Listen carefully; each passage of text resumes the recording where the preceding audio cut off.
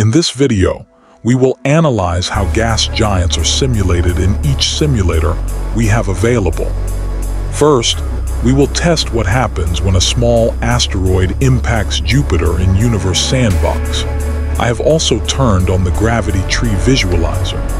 Gravity Tree visualizes the gravitational interactions between objects. As the asteroid hits Jupiter, the gravity tree reacts and forms a dense, interconnected web of lines around the impact site, and the after effects are Jupiter releasing fragments, ejecting debris into space, and creating a visible scattering of glowing particles around it. And the temperature didn't alter that much. So, in Universe Sandbox, hitting a gas giant with results in a localized impact with significant debris ejection, but minimal overall change to the planet's temperature. In Space and Gas Giant Simulation, we observe a dwarf planet impacting Jupiter. The software emphasizes material interactions, tracking real-time data like composition and velocity. As the dwarf planet approaches, minimal distortion occurs.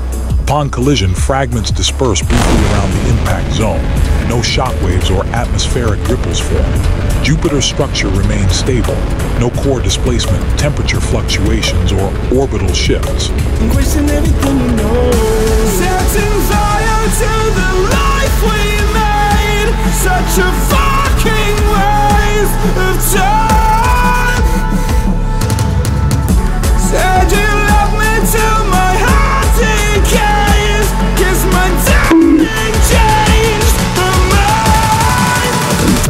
Heart oh online. Setting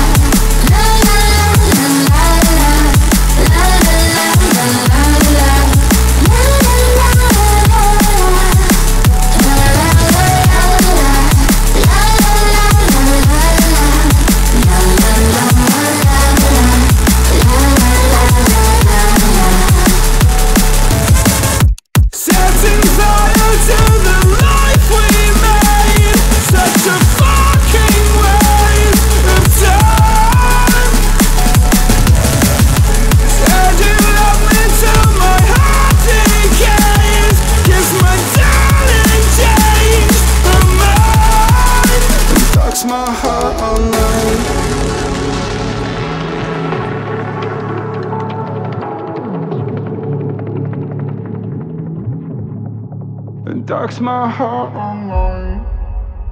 I feel the gravity pull and it keeps me away.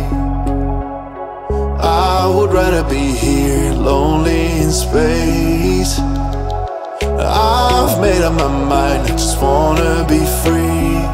I live my own life in a new galaxy. I wanna be weightless in the silence of the night sky. Free fall into nothing at all. I'm taking the moment, starting all over.